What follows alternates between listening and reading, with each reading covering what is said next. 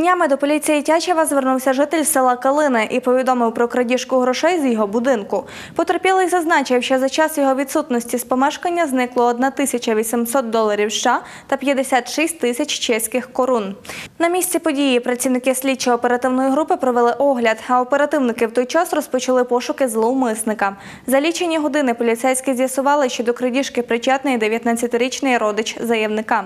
За фактом крадіжки, вчиненої в умовах воєнного стану, слідчі внесли відомості до єдиного реєстру досудових розслідувань за частиною 4 статті 185 Кримінального кодексу України.